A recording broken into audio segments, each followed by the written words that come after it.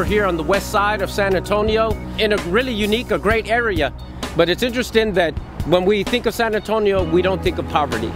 We, we think of, you know, poverty in third world countries, and it's only unique to there.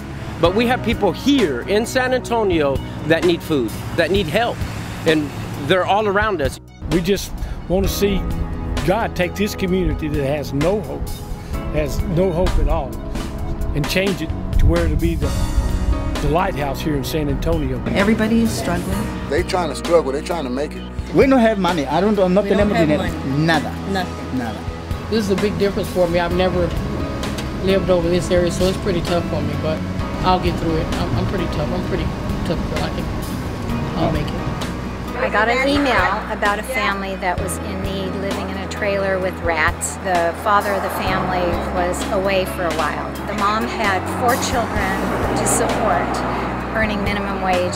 Just recently, you know, I gave up on life. You know, I was ready to throw in the towel and I didn't think I could make it. I thought I was a lost cause. The children are really wonderful, man. They're gonna do and be what the adults and the parents show them. If you're out here fighting and stealing and robbing and lying and cheating, then that's how they're gonna grow up. all these kids out here and, and the families out here, they deserve so much better. A lot of these children here, they lack love, man. They lack they lack somebody showing them that they care.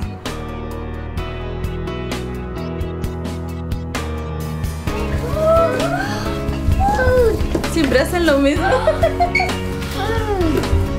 We, you brought food. Yeah. ¿Quieres uno? It's good.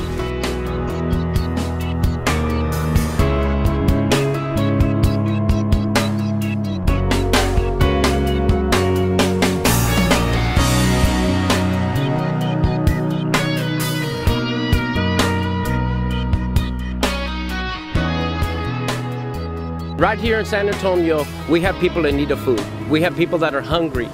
But we also know people that are hungry for the gospel. And so this opportunity where we can link those two things together with people we know. You have people in your family right now that you know could use a touch from the Lord. And that touch can come in the form of a box. A box from the Children Hunger Fund that you can fill up and you can go and we could take that to needy people. We challenge you, get that box of food, take it in the name of the Lord to people that need it right here in San Antonio. God bless you.